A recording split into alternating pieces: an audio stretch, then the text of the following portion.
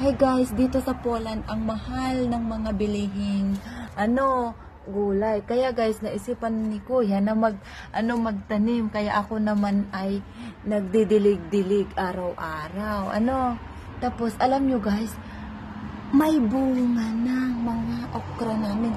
Pero kakaiba guys, dito lang sa Poland, ang okra namin ay may bungang sili guys. Sili ang bunga niya guys. Kitang-kita nyo naman guys, oh.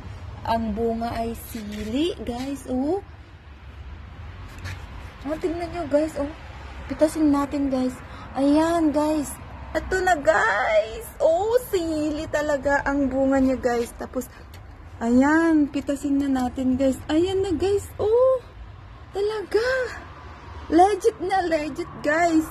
Ayan, kayo, kayong mga nasa Poland, magtanim na kayo ng okra para magkaroon din kayo ng sili, guys. Ayan na, guys. Oh, legit. See you again sa bukas.